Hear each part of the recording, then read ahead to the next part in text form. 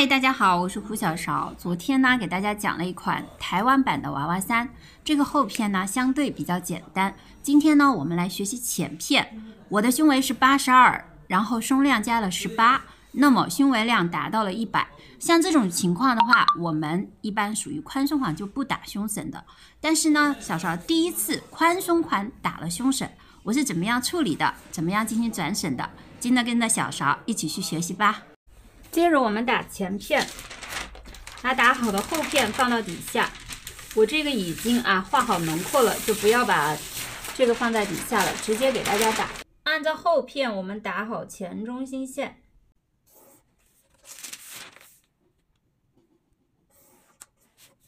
同样的啊，上平线我们向上一厘米。虽然是宽松型的，但是这一次我打胸审。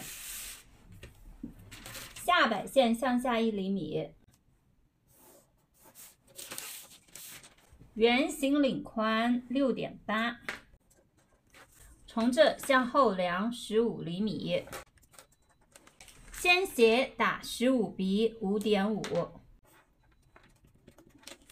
连接这两个点画一条斜线，领同样和后片一样，开宽七厘米。领身呢，打十六厘米，然后这个是有门襟的啊，门襟宽度八厘米，那么我们平行向外四厘米，从前中心线平行向外四厘米，打好门襟线啊，这个不要画的很糊。咱们画顺前领弧线，画的稍微浅一点啊。按照后片啊，我们打好前胸围线，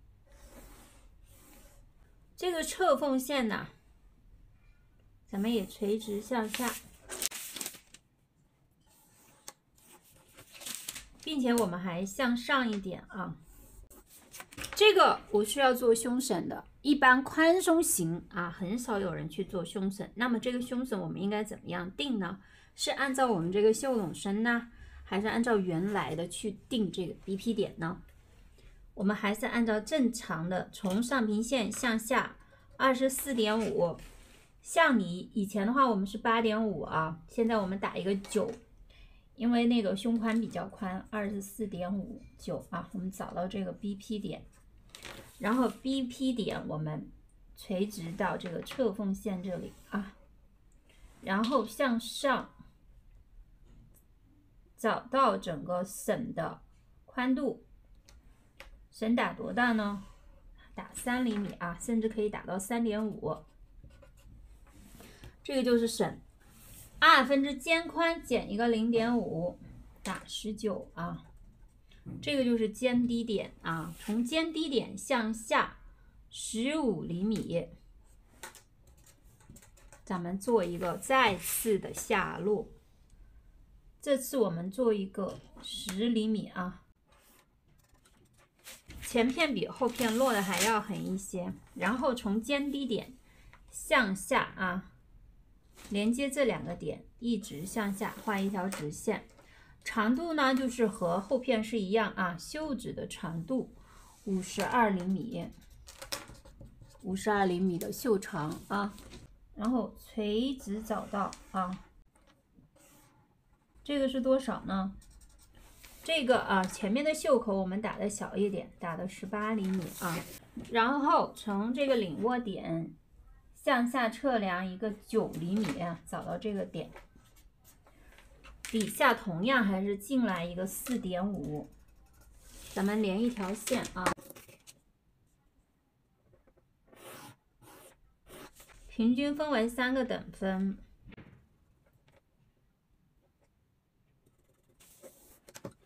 这个插接袖的弧线啊，咱们给它画顺，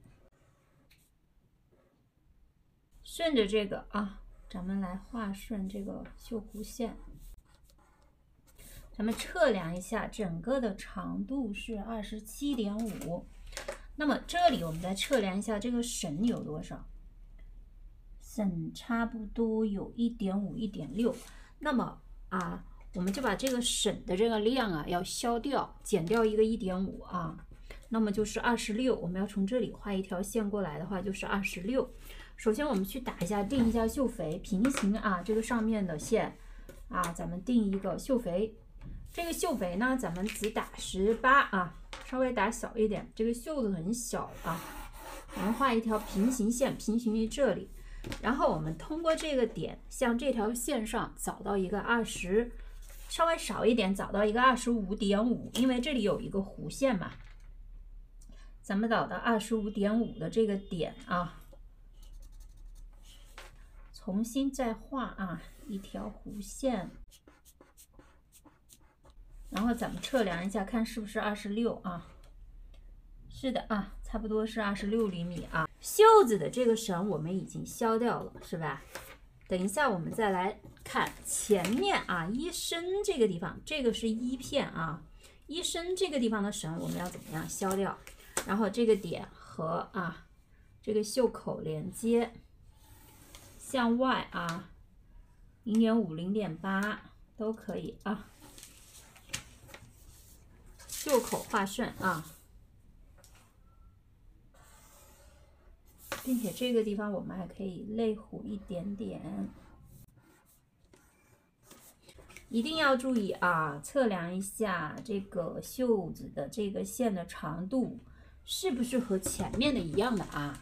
包括这个啊，都是要一样的，咱们才能拼合。这个地方袖子我们要画圆顺哦。好，接着我们打这个下面的这一片啊，根据这个。后片啊，我们同样将这个底摆的这个画下来，底下这里啊，还有就是啊，这个呢是我们的袖片啊，然后这个是我们的衣片，衣片这里还有什么？还有一个省，对不对？还有这个前面的一点五的这个小省，这个省呢，我们啊怎么样将它消掉呢？前面这里向后十厘米，找到这个点啊，然后通过这个 BP 点底下呢，向这个里面测量一个二十厘米这个点，然后我们画一条分割线啊。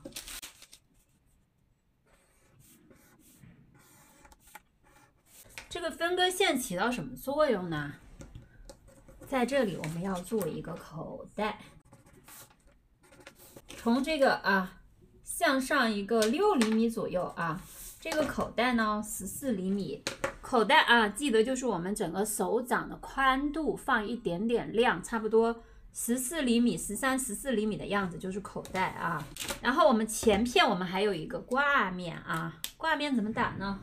一片的这个地方测量一个三厘米。底下呢，一个十厘米啊，十厘米，我们打一个挂面啊。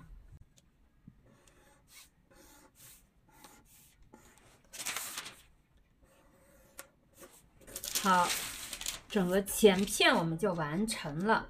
我们到最后一片的时候啊，这个省我们要给它合并的啊。一片的这个省合并到这个分割线里面，这个是挂面啊，然后这个一片的这个挂面这个地方，咱们还要进行一些处理的，这个呢是有一定难度的啊。